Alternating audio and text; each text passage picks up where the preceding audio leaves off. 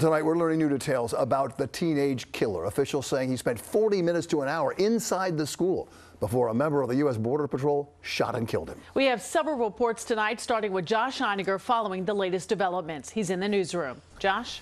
Well, Sade Robb Elementary School in Uvalde, Texas may be just the latest place of learning to be thrust into the endless national debate on guns, but in many ways it's far too late to have that debate in Uvalde, a small community drowning in unfathomable pain.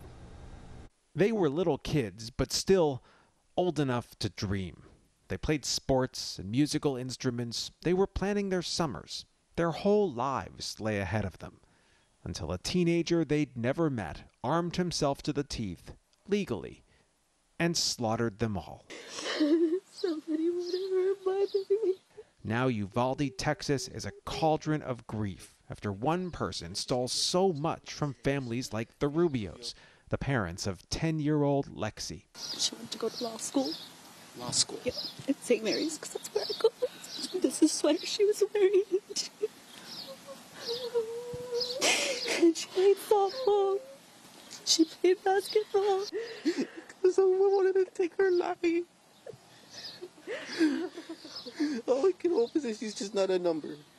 Hopefully something gets resolved. Her father, Felix, is a sheriff's deputy here and was part of the frantic response to his daughter's school yesterday when the shooter barricaded himself inside a classroom at Robb Elementary and opened fire. We just hear all kinds of gunshots going off, like nonstop, like constantly gunshots.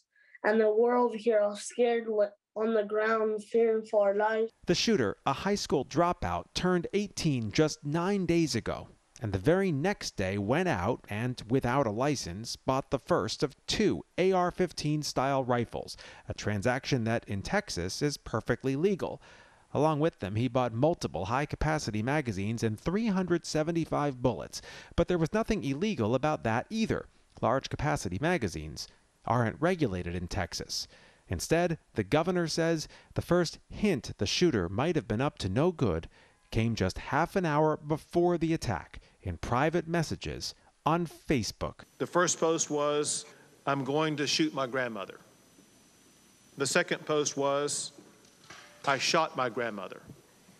The third post, maybe less than 15 minutes before arriving at the school, was, I'm going to shoot an elementary school.